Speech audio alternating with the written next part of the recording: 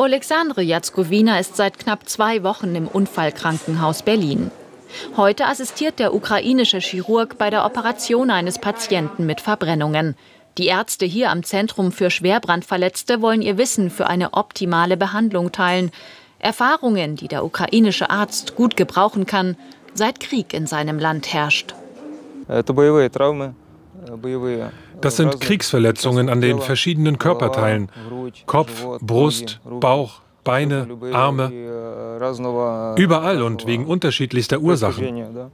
Explosionsverletzungen, Schussverletzungen, Verbrennungen. So wie bei diesem ukrainischen Soldaten, der seit September mit schweren Brandwunden in Berlin behandelt wird. Julia Huck, ukrainische Rehabilitationsärztin, ist heute bei der Physiotherapie dabei. Auch sie hospitiert für zwei Wochen an der deutschen Klinik. Ein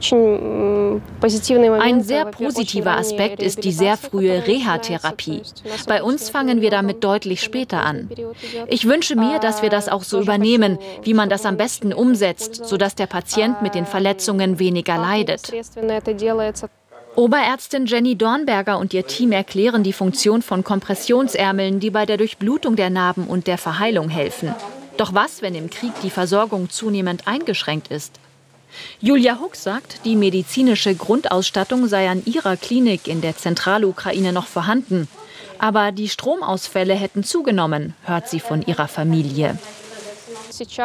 Ich bin ständig in Kontakt mit meinem Ehemann und ich weiß, dass die Situation deutlich schlechter geworden ist. Und momentan werden bei uns nur die Notfälle behandelt. An dem Austausch mit den ukrainischen Ärzten nehmen acht Kliniken deutschlandweit teil. Alle sind auf die Behandlung schwer verletzter Menschen spezialisiert. Das Programm würden sie gerne ausweiten, auch nach der Rückkehr in die Ukraine in Kontakt bleiben. Ihr Ziel ist auch, dass wir nicht nur schulen jetzt in äh, diesen 14 Tagen, sondern dass wir den Kollegen auch zur Verfügung stehen im Sinne von der Telemedizin, dass wir im Grunde genommen ihnen weiterhelfen bei Fragestellungen und bei ganz konkreten äh, Patientenschicksalen. Eine Unterstützung, die die beiden jungen ukrainischen Ärzte gut gebrauchen können in ihrem Land im Krieg. Sie wünschen sich vor allem eines. Ich hoffe auf Frieden in der ganzen Welt. Krieg ist immer schrecklich für die Menschen. Am Freitag fahren die beiden zurück in die Ukraine, um dort wieder zu helfen, Leben zu retten.